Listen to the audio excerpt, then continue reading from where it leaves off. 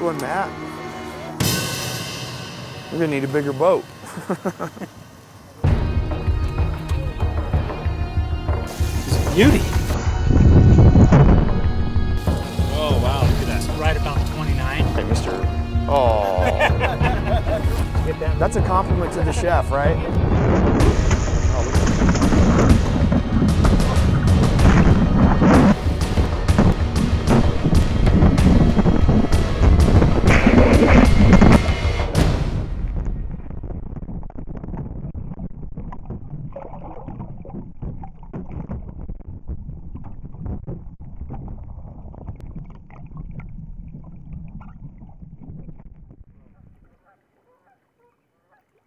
Spring at Flaming Gorge means one thing, and that's gill netting.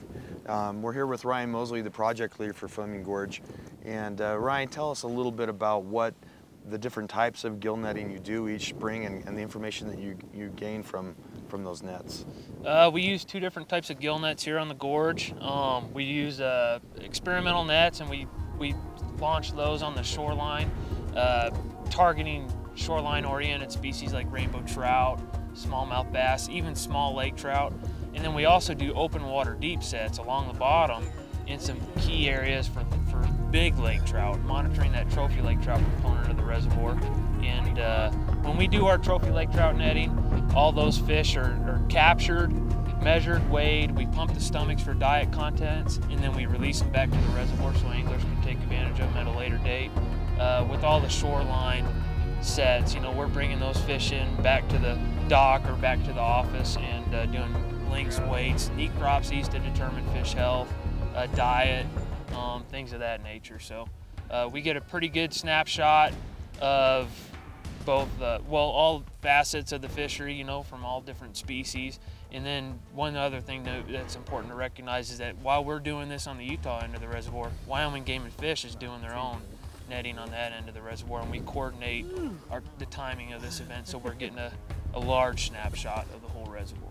How does the information help you manage the lake? What kind of things can it tell you?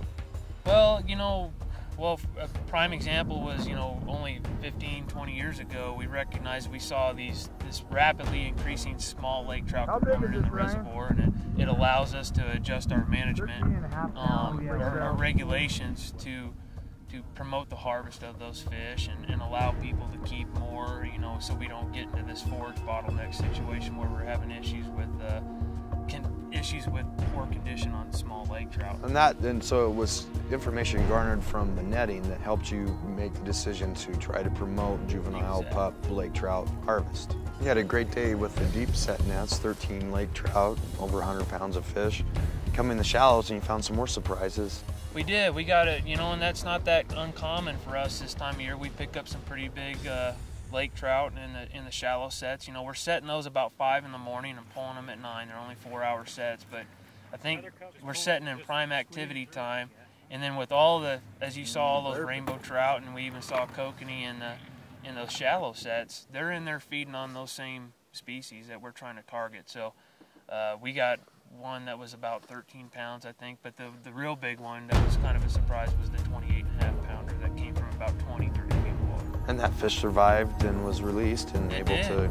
Yeah, you, you took care of it, you babied it, you, you, you pet it on the shoreline, and yeah, it, was- it happily swam away. Well, so I- maybe we'll catch it later. Uh, I hope so. I hope it gains a couple pounds. I, I, uh, you know, I, I, I was saying, you know, today, I've never caught a 30 pound lake trout, but I sure let a lot go today. Yeah. That was nice. Nice.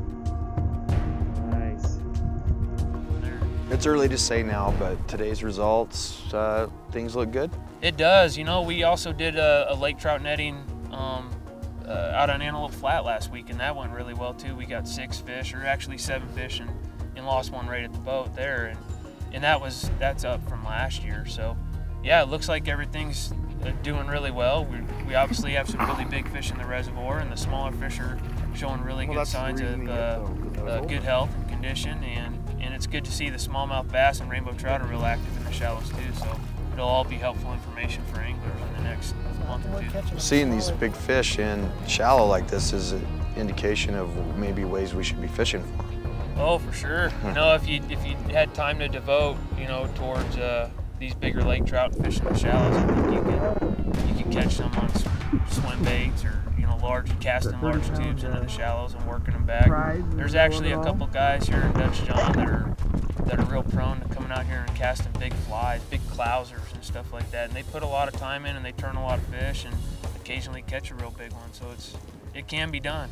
That's And- great. And you've seen it happen out here today, and they're in the nets. They're they're catchable. Oh, they're strong fish. They're amazing. They're powerful. Yeah. fish. When they're so big, it's uh, it's kind of funky holding a fish that big.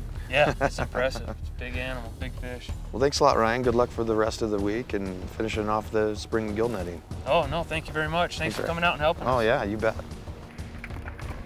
So in addition to the deep net sets they put for the lake trout, they also do some shore nets. They're a little bit more shallow. They get a variety of species. They want to see what's going on out here. You can see they've got uh, a pretty big range right here. Smallmouth bass, a kokanee, which usually doesn't show up in these, um, but uh, you never know what you're going to get at, at uh, Flaming Gorge. So um, we'll take it. This guy, the big lake trout, may have been chasing this guy right here. Who knows? The, the two fish like this came in, one about 30 pounds. And then you got these nice, healthy rainbows. A lot of people overlook the rainbow fishery at the gorge, but look at these fish. You know, they're some beautiful fish. Go a long ways to feeding a family right there. And never, ever underestimate the value of kokanee meat. It's very, very tasty. 30 pound lake trout caught in the gill nets less than an hour ago. Going back to the lake. Big, chunky fish, healthy. Biggest one of the day, guys. This is the biggest one. Yeah, biggest one of the season. Okay. You ready? Almost.